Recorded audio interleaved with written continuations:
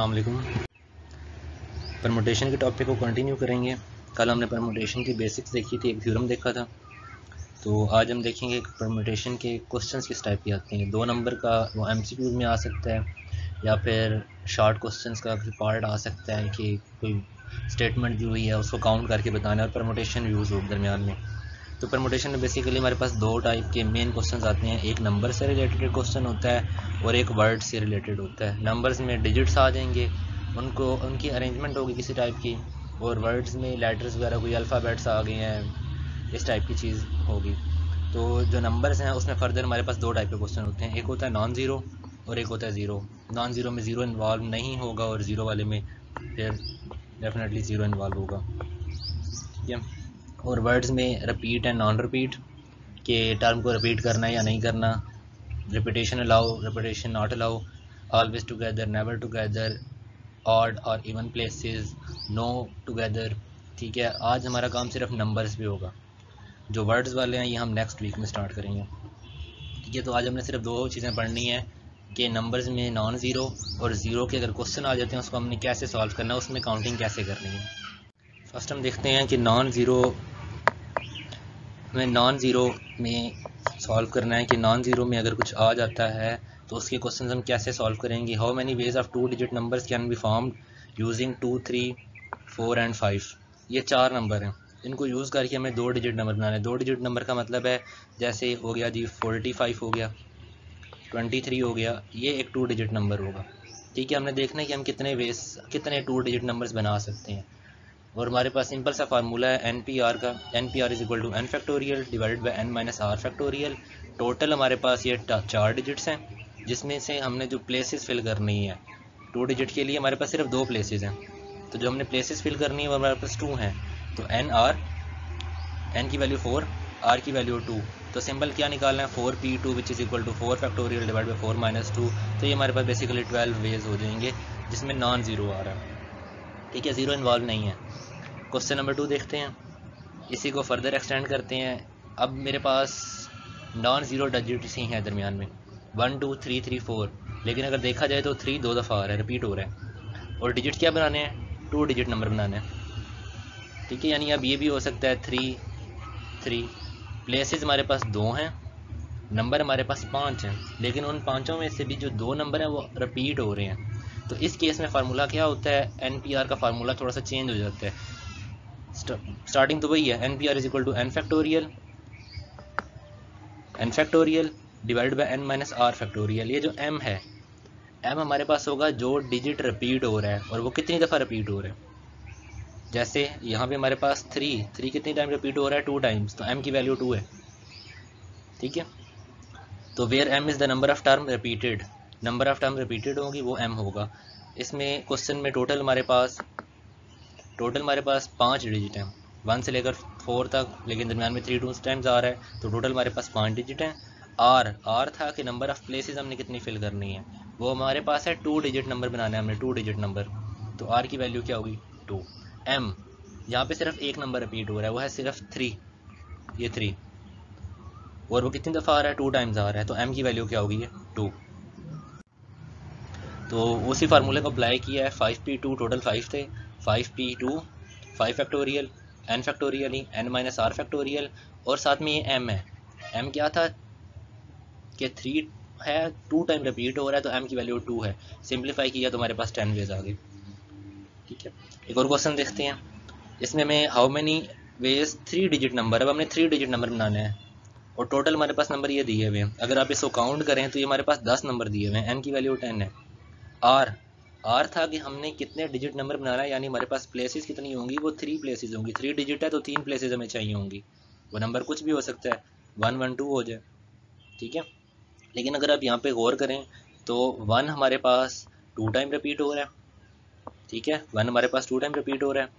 Three हमारे पास three times repeat हो रहा है। इसी तरह एट हमारे पास टू टाइम रिपीट हो रहा है। तो अब हम देखते हैं इसको सॉल्व कैसे करना है। देखें वन हमारे पास टू टाइम रिपीट हुआ। थ्री हमारे पास थ्री टाइम रिपीट हुआ एट हमारे पास टू टाइम्स रिपीट हो रहा है। फार्मूला बेसिक वही रहेगा। टोटल टेन है। Ten P three which is equal to ten factorial यानी N factorial divided by N minus R ten minus three factorial इसके बाद वन कितनी दफ़ा रिपीट हुआ? टू टाइम्स तो यहाँ पे टू फैक्टोरियल यानी एम की वैल्यू टू इसके बाद थ्री हमारे पास कितनी दफ़ा रिपीट हो रहा है? थ्री टाइम्स तो एम के बाद एक और टर्म आ गई अब। ठीक है? उसको कुछ और नाम दे दें या फिर आप ऐसे समझ लें कि जितनी भी टर्म रिपीट होनी है, ये टू टाइम रिपीट हो रहा है तो नीचे टू फैक्टोरियल नेक्स्ट टाइम हमारे पास थ्री टाइम रिपीट हो रही है तो नीचे थ्री फैक्टोरियल भी आएगा साथ.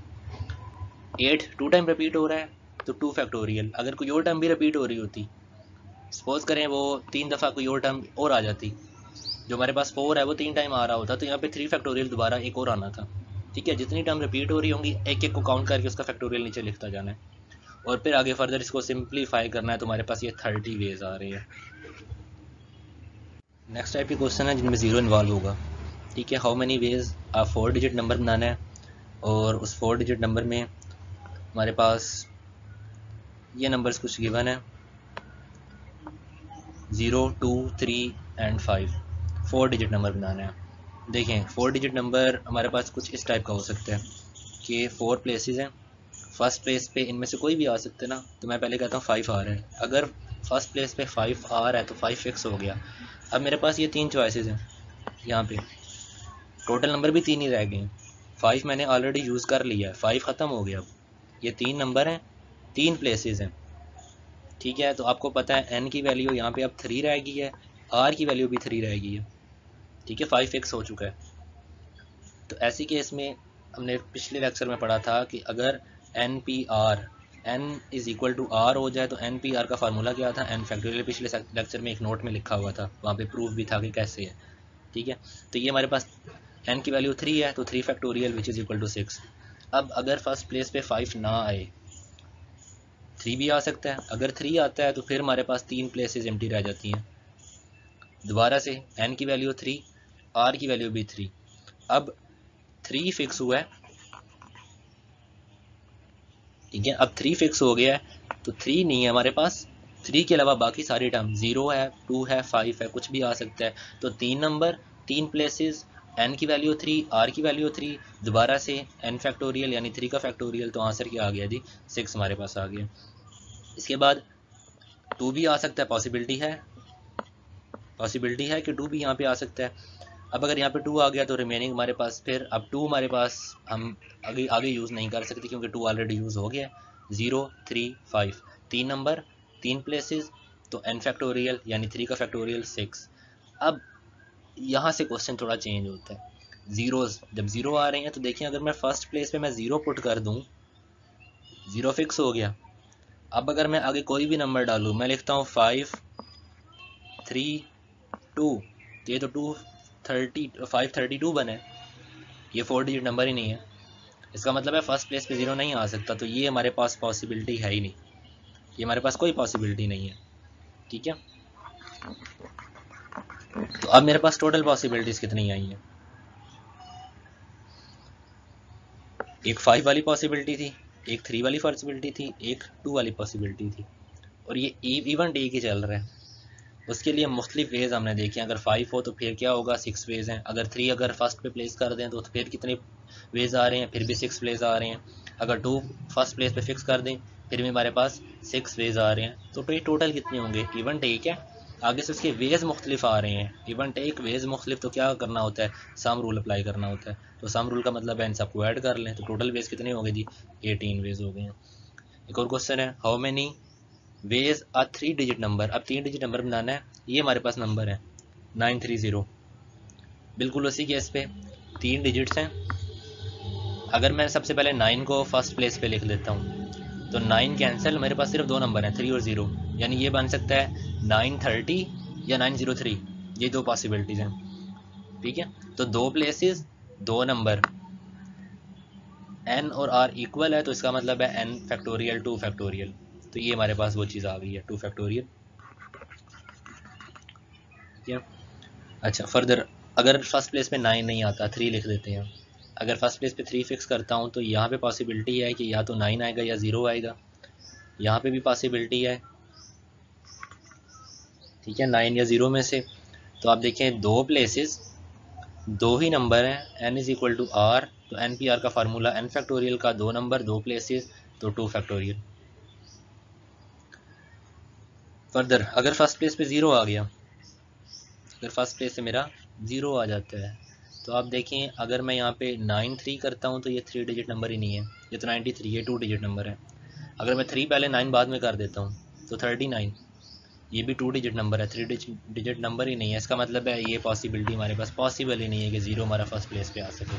ठीक है, दो ही पॉसिबिलिटी हैं है तो नाइन पहले आएगा, या थ्री पहले आएगा। अगर नाइन पहले आता है तो दो वेज होंगे। वो कौन से हैं? नाइन थ्री ज़ीरो या नाइन ज़ीरो थ्री, ये दो नंबर बन सकते हैं। अगर थ्री पहले आता है तो थ्री नाइन ज़ीरो या थ्री ज़ीरो नाइन दो वेज तो टोटल कितने हो गए हैं? इन दोनों को हमने ऐड कर लेना है addition rule two factorial plus two factorial two plus two four तो टोटल वेज कितने आ गए हैं? फोर यानी नंबर हमारे पास कौन से बन सकते थे? एक नंबर बन सकता था नाइन थर्टी, और एक नंबर बन सकता है nine zero three. Third number three zero nine या थ्री नाइन ज़ीरो। ठीक है तो four ways next question number six है how many ways a four digit number is formed अब ये हमारे पास कुछ इस टाइप के नंबर हैं। Zero nine two six eight और आगे कंडीशन एक और भी दी हुई है। The number must be greater than nine double zero जो फोर डिजिट नंबर बनाना है, वो नाइन थाउज़ेंड से बड़ा होना चाहिए, उसे छोटा ना हो। तो देखें, अगर मुझे इस नंबर को 9000 से बड़ा बनाना है तो मेरे पास तो नंबर ही कौन से हैं? ज़ीरो है टू है सिक्स है एट है और नाइन है। अगर मैं ज़ीरो यूज़ करता हूँ तो वो तो आपको पता है फोर डिजिट नंबर ही नहीं बनेगा फिर। वो थ्री डिजिट नंबर बन जाएगा। अगर मैं फ़र्स्ट पे टू पुट करता हूँ, मुझे नौ हज़ार से बड़ा नंबर चाहिए। अगर मैं फ़र्स्ट पे दो पुट कर देता हूँ तो वो तो दो हज़ार है। दो हज़ार की लाइन में कोई भी नंबर हो सकता है। दो हज़ार, नौ nine two nine six eight हो सकता है। कुछ भी नंबर हो सकता है, लेकिन वो नाइन थाउज़ेंड से ग्रेटर नहीं है। तो मैं टू फ़र्स्ट प्लेस से फिल नहीं कर सकता। ना मैं एट कर सकता हूँ। एक ही पॉसिबिलिटी है कि नाइन को फ़र्स्ट प्लेस पे हमें फिल करना पड़ेगा। ये हमारे पास कोई चॉइस ही नहीं है। ठीक है तो रिमाइंडिंग कितने रह गए हैं? तीन प्लेसेस और नंबर कितने हैं? नाइन फिक्स हो चुका है। ज़ीरो टू सिक्स और एट ये नंबर मेरे पास रह गए हैं पीछे। तो चार नंबर हैं। तीन प्लेसेस हैं। तो क्या बनेगा? एन की वैल्यू फोर आर की वैल्यू थ्री चार नंबर रह गए हैं, तीन प्लेसेस रह गई हैं four P three four factorial divided by four minus three factorial solve किया तो twenty four ways next question है। वही क्वेश्चन है। ज़ीरो टू सिक्स एट और नाइन नंबर वही है हमारे पास, लेकिन अब कंडीशन ये दी हुई है कि जो नंबर है वो एट थाउज़ेंड से ग्रेटर होना चाहिए। ठीक है? और डिजिट हमने फोर डिजिट प्लेस ही बनाना है। यानी नंबर हमारे पास फोर डिजिट नंबर ही आना चाहिए। लेकिन वो एट थाउज़ेंड से ग्रेटर हो। है हमारे पास नंबर कौन से थे? ज़ीरो टू सिक्स एट ठीक है, अगर मैं ज़ीरो पुट करता हूँ तो ये तो फोर डिजिट नंबर है ही नहीं। ख़त्म होगी बात ही। फोर डिजिट नंबर ही नहीं होगा।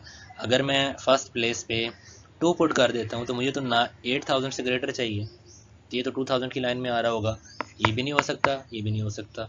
नेक्स्ट अगर मैं यहाँ पे सिक्स पुट करता हूँ तो ये तो सिक्स थाउज़ेंड की लाइन में आ रहा होगा। जबकि मेरी रिक्वायरमेंट क्या एट थाउज़ेंड से ग्रेटर होना चाहिए। तो ये भी पॉसिबिलिटी नहीं है। अगर मैं फ़र्स्ट प्लेस पे एट पुट करता हूँ, ठीक है? फ़र्स्ट प्लेस पे मैं एट पुट कर रहा हूँ। इसके बाद आगे जो नंबर मर्ज़ी आ जाए। पॉसिबिलिटी क्या है? ज़ीरो कर लें यहाँ पे। ज़ीरो अगर यहाँ पे आ रहा है तो यहाँ पे टू आ रहा होगा, यहाँ पे सिक्स या कोई और नंबर आ रहा होगा। तो ये तो एट थाउज़ेंड से ग्रेटर है, ये पॉसिबिलिटी है।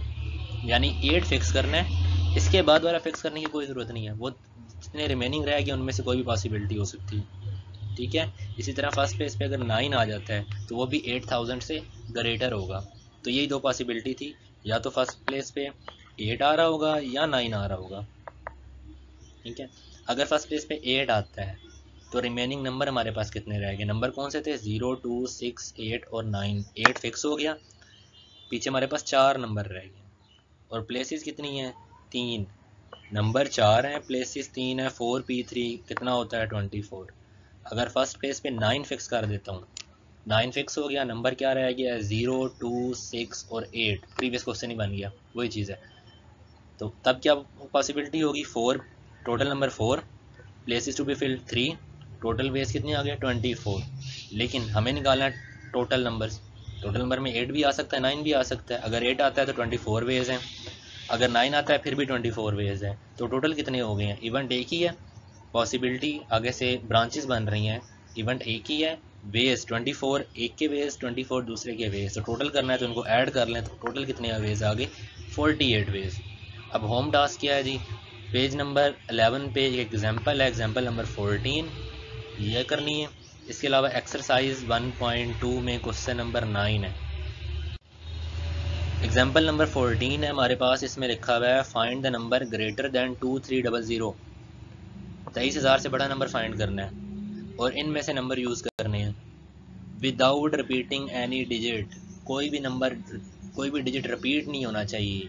यानी अगर टू पहले इनमें से अगर टू पहले यूज़ कर लिया तो टू दोबारा नहीं आ सकता। ठीक है जी? तो इस नंबर से ग्रेटर हमें चाहिए। ठीक है? तो डिजिट कितना बनाना है? प्लेसेस कितनी आएँगी? फाइव डिजिट क्योंकि इससे हमें ग्रेटर नंबर बनाना है। ठीक है? हमारे पास टोटल नंबर भी फाइव हैं। और जो हमने काउंट करवाना है, उसमें टू थ्री डबल ज़ीरो से बड़ी बनानी है तो हमारे पास प्लेसेस भी फाइव ही बनेगी, ठीक? क्योंकि उससे बड़ा नंबर अगर प्लेसेस हम छोटी, थोड़ी कर लेते हैं तो नंबर ट्वेंटी थ्री थाउज़ेंड से ग्रेटर नहीं होगा। तो देखें फ़र्स्ट अगर फ़र्स्ट पे ट्वेंटी थ्री रखते हैं टू भी गया थ्री भी गया तो आगे वन फाइव और सिक्स रह गया। अगर मैं यहाँ पे वन लिख लेता हूँ सपोज़ करें यहाँ पे फाइव आ गया सिक्स आ गया, कोई भी पॉसिबिलिटी है ना आगे पीछे तो ये तो हर केस में ये नंबर ग्रेटर ही होगा। ठीक है तो टू थ्री फिक्स किया तो रिमेनिंग थ्री पे हमारे पास टोटल चॉइसेस हैं। और रिमेनिंग नंबर भी तीन ही रह जाते हैं। टू भी फिक्स हो गया थ्री भी फिक्स हो गया तो रिमेनिंग नंबर क्या रह गए हैं? वन रह गया फाइव रह गया और सिक्स रह गया तो तीन नंबर तीन प्लेसेस तो three P three which is equal to six next अगर फ़र्स्ट प्लेस पे टू सेकंड प्लेस पे फाइव फिक्स कर लेता हूँ। ठीक है, मुझे ट्वेंटी थ्री से टू थ्री से बड़े ग्रेटर नंबर लेके जाने हैं। टू थ्री से ग्रेटर क्या हो सकता है? कि मैं इनमें से कोई भी नंबर लिख सकता हूँ। मैं यहाँ पे लिख लेता हूँ। स्टार्टिंग वाले नंबर की बात कर रहा हूँ। अगर मैं लिखता हूँ टू फाइव तो ट्वेंटी थ्री थाउज़ेंड से ग्रेटर आ जाएगा। अगर मैं लिखता हूँ टू सिक्स, ये भी ग्रेटर आ जाएगा। अब सिक्स से बड़ा मेरे पास दोबारा नंबर कोई नहीं है।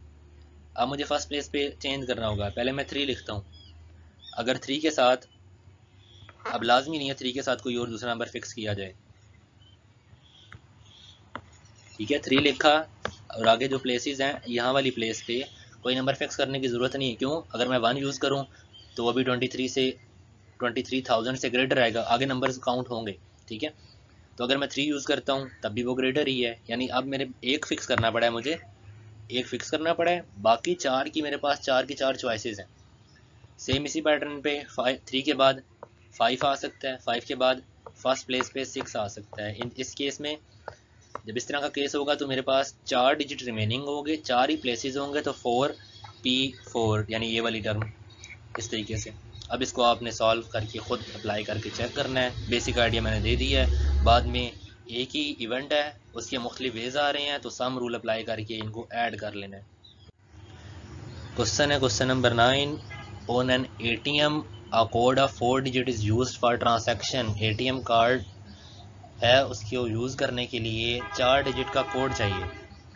The person using the machine forget his code जो पर्सन है, उसने कोड को फॉरगेट कर दिया, भूल गया।